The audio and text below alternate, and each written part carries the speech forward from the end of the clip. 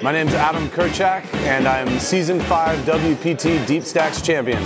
I'm overwhelmed by this feeling right now. It's amazing. I, be honest with you, I came up here this weekend with like, I had, I finished fourth here two years ago, which was my biggest score, and uh, same tournament, finished fourth, and honestly, poker's been a lot of pain and suffering since that score. A few cashes, but never a final table, and I was like starting to get a little discouraged and I was like, you know what? I'm gonna go up there. I'm gonna play this tournament the best I can.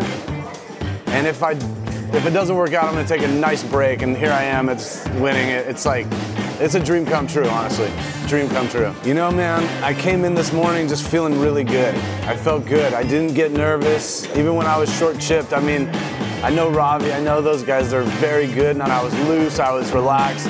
And I, I made some good plays and got lucky.